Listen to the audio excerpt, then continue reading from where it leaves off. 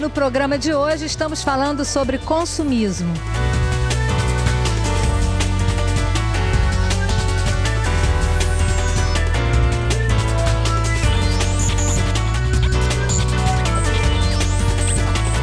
Antes da Segunda Guerra Mundial, nós não tínhamos mercado.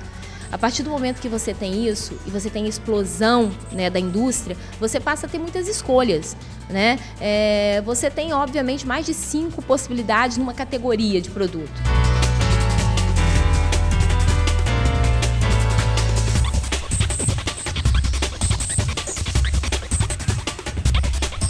as empresas descobriram esse novo público, descobriram a nova classe trabalhadora. Essa classe já existe, só que o seu poder de compra era muito baixo.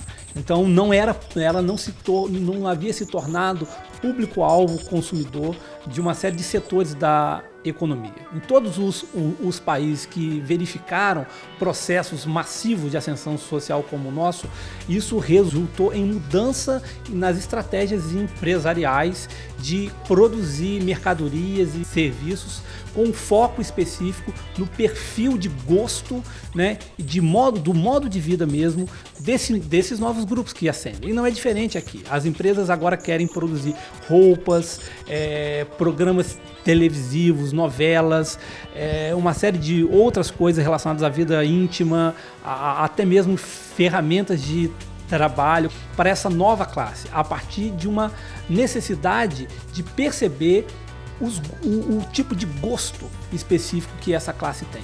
Né? O consumo não é um ato puramente movido por uma relação racional do consumidor com a mercadoria ou serviço. Né? Há muito tempo já se sabe que o consumo também tem um elemento irracional, afetivo muito forte. As pessoas acreditam, por exemplo, que o sabão em pó com cor limpa mais do que o sabão em pó sem cor. Isso é uma crença, mas essa crença movimenta a compra.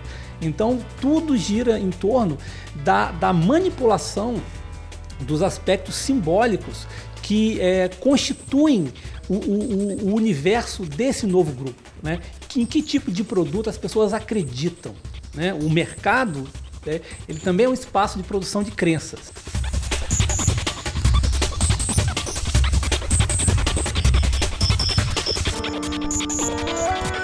Essa realidade tornou necessário o surgimento de profissionais especializados em tornar os produtos mais atraentes. Mas como que eu vou escolher?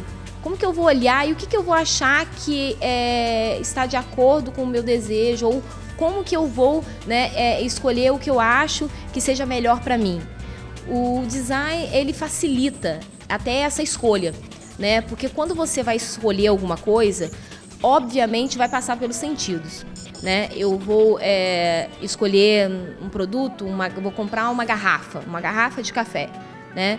É, eu posso ter várias escolhas, mas o design ele te ajuda a escolher o que mais tem a ver com você, ou seja pela forma, ou seja pela cor, ou seja pelo seu julgamento, a sua percepção de estética. Então o design ele é um facilitador, né? Ele é uma, ferramenta hoje de, na, na publicidade, de venda, sim, mas o design ele é feito para facilitar a vida das pessoas. Se você pensar no mundo, né, tudo que hoje você usa foi projetado e foi desenhado por alguém seja a sua roupa, seja a cadeira que você está sentado, né? É, seja as marcas que você lida o dia a dia, né? Tudo isso foi pensado e obviamente foi pensado para determinado público. Se você se identifica, você faz a escolha e você vai fazer a escolha tendo esses parâmetros.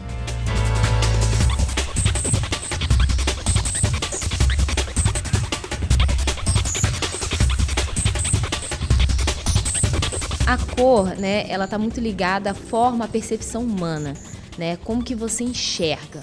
Porque ela também é muito individual. Parece que não, parece que todo mundo enxerga o mesmo vermelho, o mesmo laranja, mas você não enxerga as mesmas cores.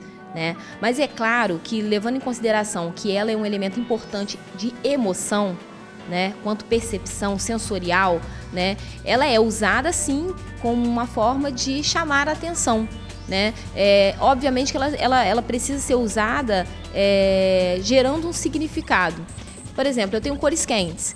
É, se você pensar no verão, né? É, se você for imaginar produtos que está ligado a alimento, as cores quentes ela te proporciona mais esse, essa, talvez até essa vontade de comer. Existe a cromoterapia, né? É, ela não é cientificamente comprovada, mas ela é muito usada para se estudar um pouco de cor. E fala exatamente isso, as sensações que a cor pode passar, que o vermelho, o amarelo te traria mais é, é apetite. Isso é usado né, nas grandes redes de fast foods. Você é, é, olhar né, as cores institucionais dessas empresas, ela tem esse objetivo. Né? Mas a cor, ela é um elemento de comunicação. Então, se eu tenho determinada combinação cromática, ela vai te passar uma sensação. Né? Uh, se eu for pensar, por exemplo, é, em passar a ideia de luxo, talvez essas cores quentes, esse vermelho, esse amarelo que foi mencionado, não servirão para passar a, o significado correto.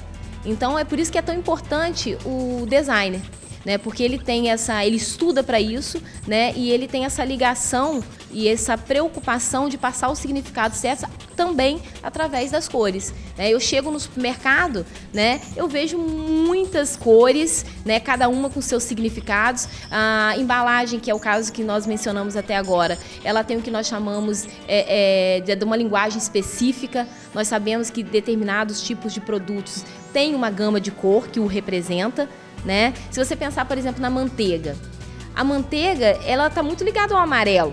Né? A pessoa liga muito o amarelo à manteiga exatamente pelo fato de que ela faz parte de uma linguagem visual. Né? Então essa linguagem visual também é respeitada. E como todos os elementos que é usado para a construção de um projeto.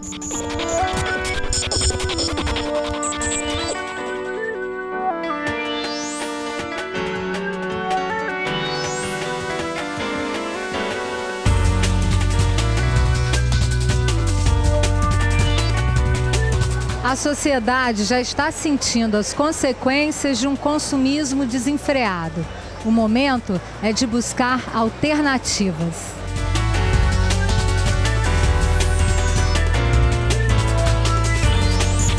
É preciso mudar comportamento. E pior que comportamento você não muda de uma hora para outra. Né? É, então eu vejo que a sociedade ela vai é, sofrer, eu diria que é, nos próximos anos será de sofrimento, porque você não muda hábitos rapidamente, né? E, e ainda para completar, uma parte da população não se sensibilizou ainda de que realmente os custos né, é, desses serviços tiveram um aumento substancial. Né? É, e também isso tem um reflexo negativo para as empresas. As empresas utilizam muito essas, esses serviços. Né?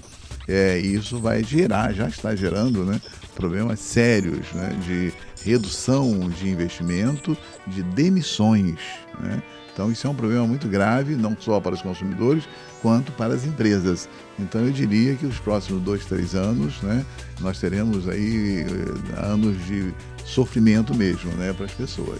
É necessário um esforço individual muito grande no sentido de é, rever o seu orçamento, as suas condições, os seus hábitos, né? E mudar efetivamente.